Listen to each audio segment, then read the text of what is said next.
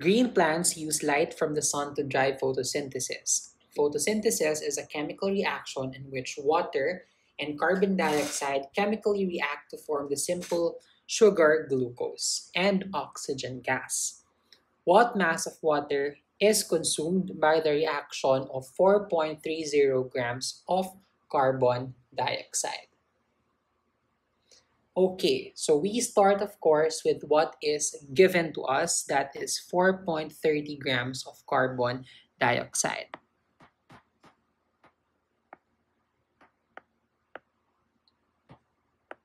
So uh, same as in any stoichiometry problems, when you are given grams of the reactant, you will convert that first into moles.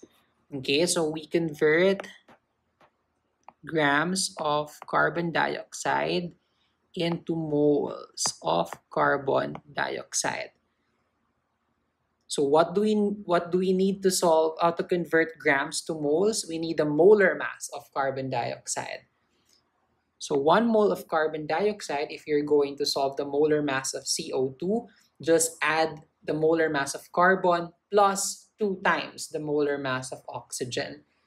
And when you do that, that will give you about 44.01 grams of carbon dioxide per mole.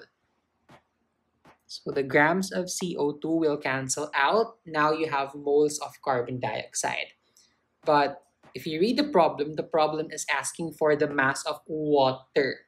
So the next step would be to convert the moles of carbon dioxide into moles of water. How do we do that? We look at the chemical reaction. So according to the reaction, the mole ratio between carbon dioxide and water is 6 is to 6. So 6 moles of water, 6 moles of carbon dioxide.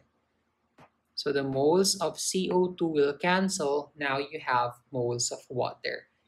And finally, you will convert moles of H2O to grams of H2O since the problem is asking for the mass. Now, this time we will use the molar mass of water. So 1 mole of water, that's equivalent to 18.016 grams of water. So the moles of water will cancel. Now you have grams of H2O.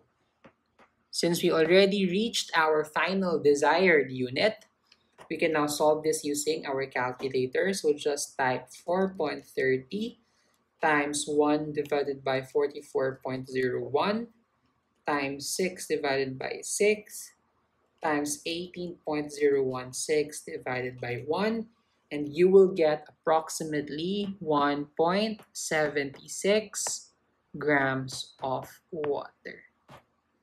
So this will be the answer to the question.